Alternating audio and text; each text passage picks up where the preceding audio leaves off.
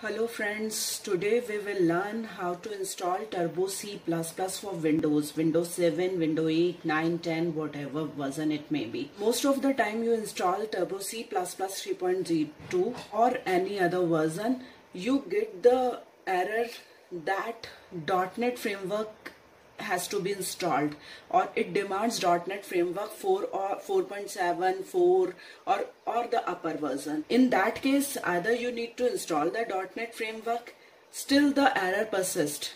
Then what you can do is you can install the C++ according to me.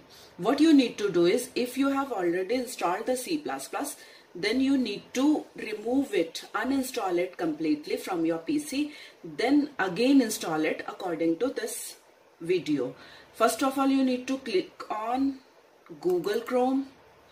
After that, here you need to type Turbo C++ latest version. Now you need to click on Turbo C++ downloads.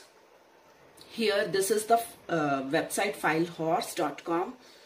Click on this Turbo C++ download here you'll get the another page turbo c++ requirements. Here are the requirements window vista. It will work on window vista windows 7 window 8 window 10 vista 64 7 8 64 means uh, either you have the pc of 32 bit or 64 bit you can install this c++ in any version. Now you need to click on free download. After that here you need to click on start downloading.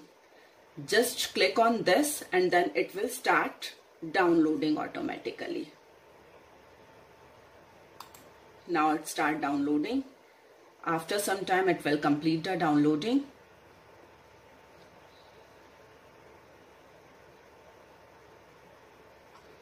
It has complete. Now you'll get this software and downloads this is my software Turbo C++ for Windows 7 3.7.8 major release. Now you just need to click, double click on this. Here, do you want to allow the following program for an unknown publisher? Yes. Say yes. After that, one wizard will come. Welcome to C++ for Windows. Just click on next. Here is the license agreement. Here you need to accept the terms and conditions. Click on next button.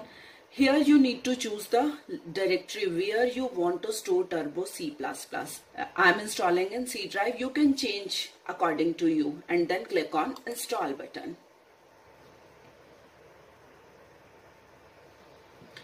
Now the Turbo C++ is installed completely. Now you have two options. Run Turbo C++ for Windows. If you want to run over here, then it's okay. Otherwise, you can uncheck it. Show README.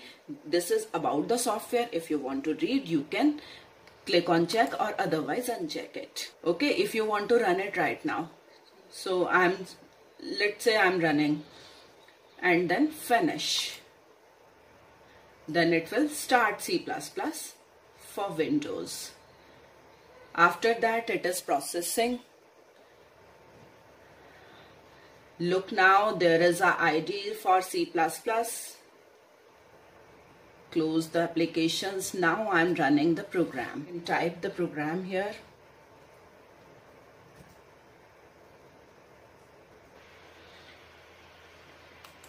Welcome in C++ class.